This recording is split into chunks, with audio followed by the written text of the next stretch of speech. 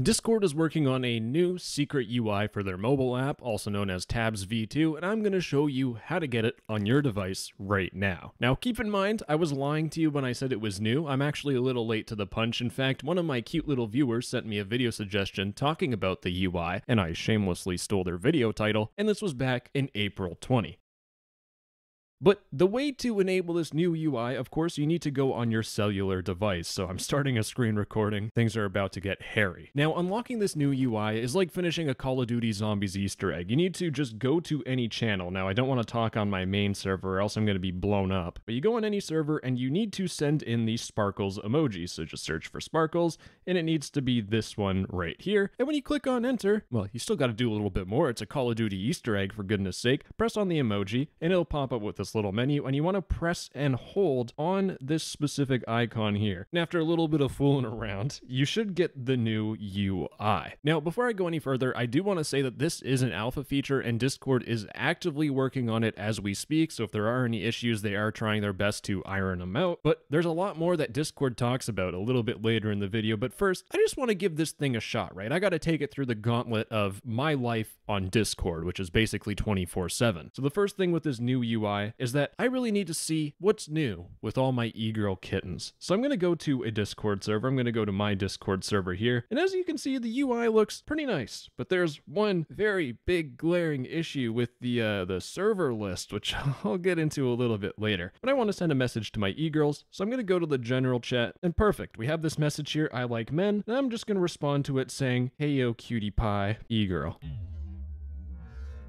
And that was pretty easy. Now, you might have noticed I did something a little fancy because I did use this UI once, but instead of having to press on the person's name and then press reply and all that bogus stuff, I just went full WhatsApp mode and I just did a little bit of a swipe to reply. The way that it works on the old Discord app is that when you swipe to the right, you look at your member list. And that's actually something I want to figure out. Are my staff doing something on my Discord server? And, uh, well, I don't really know where to look. Now, back in the old UI, there would be something on the top right where you can press on, but in this case, yeah, okay, I'm already lost. How do I see who's on this uh on the channel? Do I click on general? Oh, there we go. Okay, I'm trying to press on these media, gifts, files, and links buttons. It's not happening. There we go. Now it's working. A little buggy. but it is nifty. You could see media, gifts, files. Hopefully I don't have to censor anything. And links. That's pretty nifty. So I've done a little bit of server management, and I think now it's time to get off my cesspool of a Discord server and go on to something a little more formal. Perhaps the Beluga server. That honestly wasn't too difficult to switch between the servers, but let's get into the big glaring issue. Here's the thing. On my normal Discord app, uh, I have all these servers in folders, and I'm also in 100 Discord servers. And as you can see, um,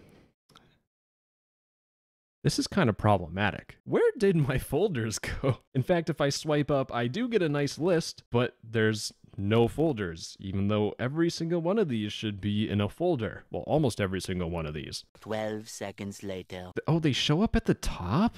What's the point? This is kind of pointless. I'm not a huge fan if I'm going to be honest. I think this is this is honestly my main gripe with the update is the fact that server folders are just kind of a mess. Now you can do a grid view, which is let's just pretend that never happened. Go back to the list view. Now, back on the Beluga server, it looks like all my e-girls are deciding to chit-chat with me, and as you can see, there's nice normal ping notifications, but I'm not one of those people that go through my server list. Instead, I just click on notifications. Really, not much has changed for me at least in my workflow but let's say I'm trying to join a voice call because for some reason I want to join a voice call. Well, uh, I just click on join and join voice, and it's exactly like Discord. Goodbye before everyone joins me and the video gets derailed. Now, one thing I do really want to point out is the fact that Discord has these emojis next to your channels, and I actually really, really, really like this because as you see in my Discord server right now, every single one of my channels, well, most of the channels that people visit, has a little icon next to it, and that's because I hate reading. I can barely read myself. I like looking at little pictures and saying, yes, that is the general channel. But there is one one thing that is maybe not the best about this update is that you can't actually change these icons. If I press and hold on it, I can edit channel, but as you can see, there's no like icon thing I can press, and it's because these specific icons are actually picked by some sort of AI. So specifically for my server, it looks really dumb because now you have like duplicate emojis for media. Just doesn't make sense. So overall for me, to be completely honest, the only thing I really don't like about this update is that this server menu list is honestly kind of really bad. I'm not a fan of it. I hate how my folders just magically disappear. Now, of course, like with any new Discord feature, the second something is different, people get upset and they go to r slash Discord app. And sometimes this is completely justified and sometimes it's just people inhaling copium. But in this case, there are people that do have bits of valid criticism. Not this one though. This person's just complaining about how it sucks and they actually don't explain why, which is extremely helpful for anyone that's actually trying to make this UI better. But this person here is upset at the fact that when you swipe, you can reply to people. But it still shows that people aren't a fan of this new UI, and I do have good news coming up for you, but I still want to continue on some of the grievances that other people have. For example, this Reddit user here says that a lot of these new kind of inputs and stuff, it just adds delays to their various workflows,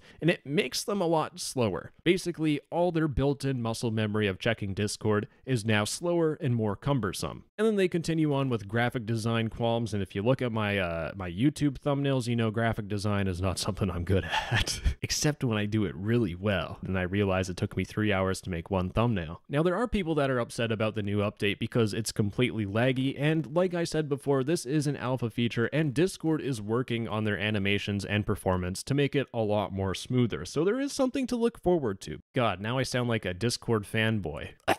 And this person here also hates the new kind of complicated UI, and they really just wish that this better be an optional thing. Boy, do I have some good news for you. This is from Discord staff themselves. We think it's great that you're checking it out. After you enable this, you can always turn it off again under Appearance. And I'm going to show you how to do that because it is honestly surprisingly very easy. You go down to your user profile at the bottom right, you press on it, you'll be looking at your profile. You need to scroll down and just go to Appearance. Then you can uncheck Show New Layout layout and you will go back to the good old normal layout. But since we're here, I want to show you a really cool Easter egg. Press on the dark theme mode a whole bunch of times and you keep tapping on it. It'll turn your Discord onto AMOLED mode, aka it's just really dark, dark theme. And of course, you might think that this is only going to be a thing when they're going through all the alpha. And once they figured out the new UI, they're going to force you to use it. Well, no. You'll have the option to opt out for the foreseeable future. And Discord actually really cares about making this user experience work for everyone.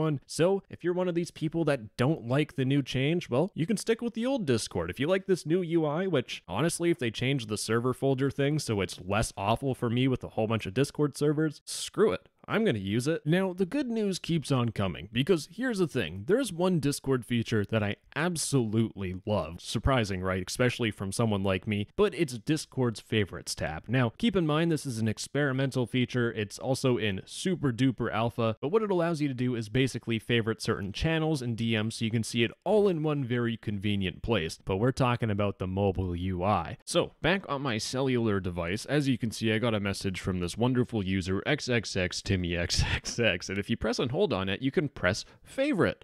So now you can favorite DMs, but it doesn't stop there. In fact, you can go to a Discord server. My favorite is the Beluga Discord server. Press and hold on a channel, and you can see this add to messages button, which I'm going to press on. And if I go to my messages, uh, it's not there. For some reason, this feature is a little bit buggy, and one thing to note is that it actually does show up in your favorites tab on your desktop, so it does sync, which is nice. I'm glad that functionality is there, but like I said, it can be buggy. If I actually just add a general channel and I click add to messages and I go back to my messages, it will show up. And also, since I forgot to say this, if you go to your appearance in your settings, you actually have different types of layouts you can use. I've been using compact for the whole video, but there's also cozy, so if I go to my servers, you could see this is how channels will look if you use Cozy. And if that's still not big enough for you, maybe, you know, the hot grandmas that are on Discord, you can click on Comfy and channels will look like this. So there is some customization, and of course, I picked the hardest one to see on the planet for this video. Forgive me. but anyways, that is Discord's new fancy dancy tabs v2 UI. As you can tell, there are some problems with it, but at the end of the day,